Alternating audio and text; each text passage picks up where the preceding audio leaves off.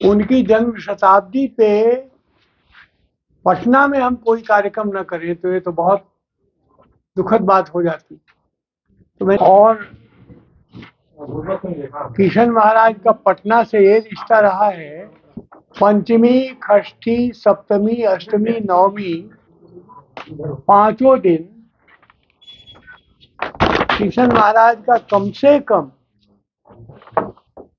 तीन तीन चार चार कार्यक्रम पटना के अलग अलग मोहल्ले में होता था। और किशन महाराज के भक्त हैं। वायलिन की जो हमारी जो नंदिनी शंकर हैं, बहुत ही अभी नाम कर रही है वायलिन। में बहुत ही अच्छी हैं। वो आ रही है। और किशन महाराज के नाती शुभ महाराज आ रहे हैं तबला के लिए खुद। हो सकता है उनकी बेटी भी बनारस से आ जाए कार्यक्रम में। और शास्त्रीय गायन में इंद्राणी मुखर्जी आ रही हैं कलकत्ते से अभिषेक चैटर्जी आ रहे हैं तबला पे संगत के लिए और हारमोनियम पे भी संगत के लिए। कलकत्ता के ही बहुत ही अच्छे द्वीपायन राय हैं वो आ रहे हैं। तो ये रविंद्र भवन में कल कार्यक्रम है। आप सब सादर आमंत्रित हैं। बाईस तारीख। बाईस तारीख का कार्यक्रम है ये। और कार्यक्रम के बाद भोजन की व्यवस्था है। नमस्कार, आप लाइव बिहार देख रहे हैं। महूराज मोहन तिवारी। एक बार फिर से लंबे अरसे के बाद राजधानी पटना में शास्त्रीय संगीत की महफिल सजने जा रही है। बनारस के सुप्रसिद्ध तबला सम्राट पद्म विभूषण पंडित किशन महाराज, जिन्हें कला के क्षेत्र में विशिष्ट योगदान के लिए 1973 में पद्मश्री और सन 2002 में पद्म विभूषण से सम्मानित किया गया था, पंडित किशन महाराज के जन्म शताब्दी के अवसर पर एक सुरमई शाम का आयोजन पूर्व राज्यसभा सांसद आर के सिन्हा की ओर से किया जा रहा है। इसके संबंध में क्या कुछ बातें खुद पूर्व राज्यसभा सांसद आर के सिन्हा बता रहे हैं, वो पहले आप सुनिए। मित्रों, आप लोगों को ये अभी कार्ड भी बांटा जाएगा। ये किशन महाराज जी का जन्म शताब्दी मनाया जा रहा है पूरे देश में। लेकिन पिछली बार मैं आया था तो हमारे कुछ कलाकार मित्रों ने मुझे एकदम से चौंका दिया ये कह के कि पूरे देश में किशन महाराज का जन्म शताब्दी मनाया जा रहा है और पटना में ही नहीं मनाया जा रहा और किशन महाराज का पटना से ये रिश्ता रहा है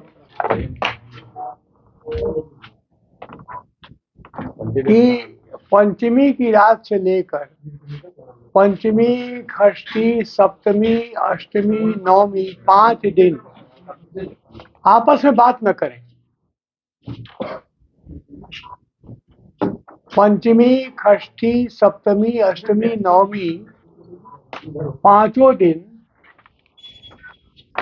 किशन महाराज का कम से कम तीन तीन चार चार कार्यक्रम पटना के अलग अलग मोहल्ले में होता था।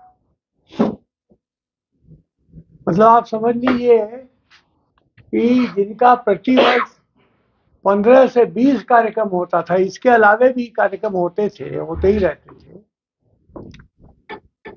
उनकी जन्म शताब्दी पे पटना में हम कोई कार्यक्रम न करें तो ये तो बहुत दुखद बात हो जाती। तो मैंने कहा, नहीं, ठीक है, करेंगे।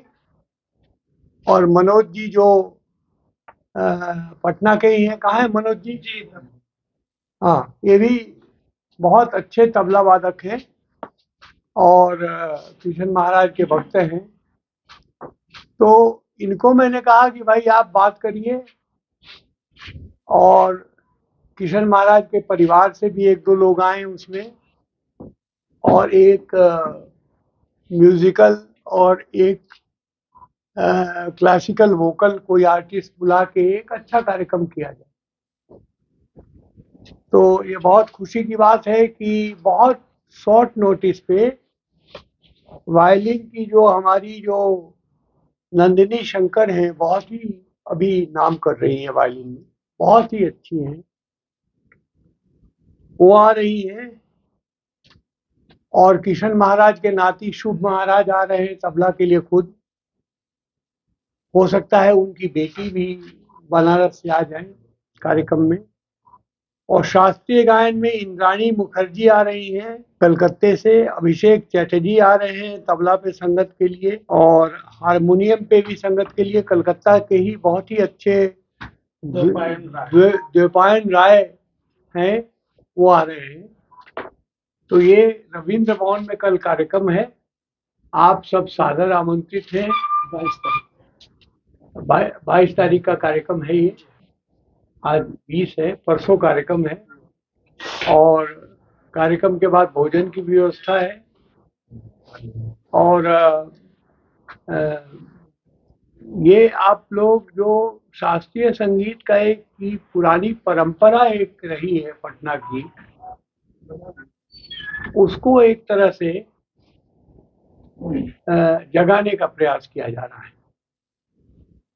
अब किन कारणों से शास्त्रीय संगीत बंद हो गया पटना में कैसे हो गया ये सब विवाद में नहीं पढ़ना चाहता मैं और पीछे की बात भूल ही जाए तो अच्छा है और आगे हम अच्छा कुछ कर सके।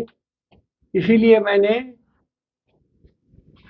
मुख्य अतिथि के रूप में किसी पॉलिटिशियन को नहीं बुलाया है। एक आ, आ, आपके हार्ट सर्जन है जीवक हॉस्पिटल के हमारे डॉक्टर अजीत प्रधान जो खुद भी बहुत अच्छे कलाकार हैं उनको बुलाया है मैंने मुख्य अतिथि में। और विशिष्ट अतिथि में रणवीर नंदन है जो कि एमएलसी रह चुके हैं। और इनका परिवार भी बहुत अच्छा आ, संगीत प्रेमी है। इनके पिताजी श्यामनंदन प्रसाद जी, जिनको हम लोग श्याम भैया कहते थे, वो भी पटना के कार्यक्रमों के आयोजन में उनका बहुत बड़ा सहयोग रहता था। और बहुत ही वो एक कहिए कि हम लोगों के प्रेरणा स्रोत हुआ करते थे उन दिनों के। मैं साठ के, दशक के और सत्तर के शुरुआत की बात करूँगा तो आपको तो इसी के लिए आपको बुलाया था छोटे से निवेदन के तो अभी आप सुन रहे थे पूर्व राज्यसभा सांसद आर के सिन्हा को, जो कि इस कार्यक्रम के बारे में पूरे विस्तार के साथ जानकारी दे रहे थे और उन्होंने साफ़ तौर पर ये बातें बताई कि 22 जनवरी यानी रविवार की शाम पाँच बजे पटना के रविंद्र भवन में यह कार्यक्रम आयोजित कराया जा रहा है। बने रहिए लाइव बिहार के साथ। आप सभी का बहुत बहुत धन्यवाद। लाइव बिहार। यूट्यूब पर सब्सक्राइब और फेसबुक पर लाइक ज़रूर करें।